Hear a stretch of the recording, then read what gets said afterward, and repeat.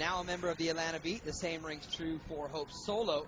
Just one shutout in six games so far for the arguably best goalkeeper in the world. The whistle comes in, and that means that we are underway. Mark Rogandino runs and doing the simple thing rather than the fancy thing all the time. Hard collision there as Yamaguchi goes down to the ground. Natalie Spilger colliding there with Yamaguchi. How about on the other side for the beat? I know that you mentioned as we look at the replay here, you mentioned uh, th this is just too reminiscent, Mark, to jump in for a second of what we saw a couple of weeks ago with Atlanta and Washington when McCall Zerboni went to the ground, as did Sonia Bompastor. I mean, it was very similar. Both players going up for the ball and for Young. Ramona Bachmann steps onto the field just uh, 10 minutes into this first half, and that will be the end of the day for Mami Yamaguchi. Hopefully, Jen, a little more precautionary in the sense that you know, the injury is not a long-term one for Yamaguchi. Right, and when you have an option like Ramona Bachmann to bring in off the bench, who has been starting every other match for your club, it certainly is not going to hurt to make that change early.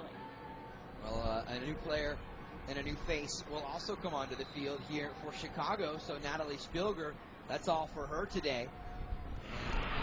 This ball one. Cristiane coming forward. The flag stays down into the space now here for Rapinoe. Able to put a first touch, second touch into the gloves of Hope Solo. Formiga. Big switch. Good time run there from Cristiane. Gets in behind Larkin. Right footed shot. Solo with the save. Looking for the offside flag after making the save, but I think they got it right. Nicely played ball here by Chicago. Good timing, exact right time to play that ball over the top. And Cristiane had good positioning, trying to find that back post. Not the... Up and over the top.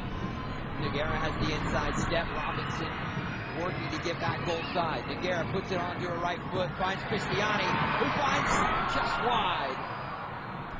Angie Kerr to get to the end of this long ball over the top. She does. Plays it in for Rasmussen. That one will go just about a foot or two up and over the crossbar as Jillian Loyden watches it fly over. Okay, 60.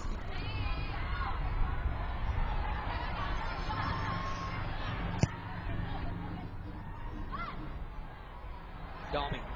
Good ball the back post and just out of the reach of Chapman. Boy, what a nice setup, though, by Chicago on that corner. I was going to say, Dalmy's the best target in the air. She dummies the initial ball to find Formiga, then gets herself wide open, puts that ball right across the goal mouth, and Chapman just doesn't get there to finish it off.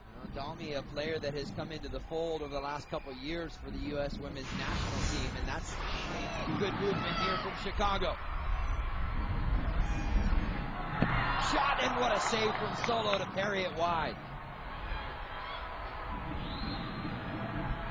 Good combination of smart passing and creative moves at the right time by the Red Stars on that last possession, and then the one-time strike by Formiga, enough to make Hope Solo go for Rasmussen. And she got a good look from the other side the last time. This will be corner number 68 for Atlanta. Right in the area and over the bar from McNeill. Looked like it had goal written all over it. Kia slow to get up, still sitting in the goal. Another great service, and McNeill comes in unmarked, completely had Kosovare Asllani beat. She needs to put that one down and in the net. Gonna get it, and here come the Red Stars. Carney, top of the point, long distance, solo parries it away.